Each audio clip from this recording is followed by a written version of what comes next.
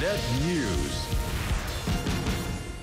හිටපු අමාත්‍ය රිෂාඩ් බදයුදීන්ගේ නිවසේ මෙහෙකාර සේවයේ යෙදී සිටියදී සිරුරට ගිනි ඇවිලීමෙන් මියගිය ඉශාලිනී ජෝඩ් දැරියගේ මිහිදන් කර තිබූ දේහය යළි ගොඩ ගැනීම අද පෙරවරුවේ ආරම්භ වුණා. පෙරවරු නවයට එම කටයුතු ආරම්භ වූයේ නුවරෙලිය මහේස්ත්‍රාත්වරිය හා ත්‍රිපුද්ගල විශේෂඥ වෛද්‍ය කණ්ඩායමේ අධීක්ෂණය යටතේ. මේ යන විට දහස්සේ හැවිරිදි වියෙහි පසු වූ මෙම දැරියගේ දේහය මිහිදන් කර තිබුණේ හැටන් ඩයගම වත්තේ බටහිර කොටසේ පිහිටි පොදු සුසාන භූමියයි. සෞඛ්‍ය උපදෙස්වලට අනුකූලව සිරුර ගොඩගැනීමේ කටයුතු සිදු කෙරුණු අතර ඊට විශේෂ පොලිස් ආරක්ෂාවක්ද යොදවා තිබුණා. එම අවස්ථාවට ඉශාලිනී දැරියගේ මව්පියන්ද පැමිණ සිටින බවයි මීට නොබෝ වේලාවකට පෙර නෙත් නිවස් වාර්තාකරු රංජිත් රාජපක්ෂ පැවසුවේ.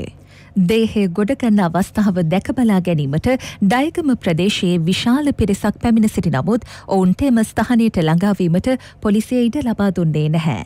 අද ගොඩගන්නා දේහය පශ්චාත් මරණ පරීක්ෂණය සඳහා පේරාදෙනිය ශික්ෂණ රෝහල වෙත රැගෙන යාමට නියමිතයි.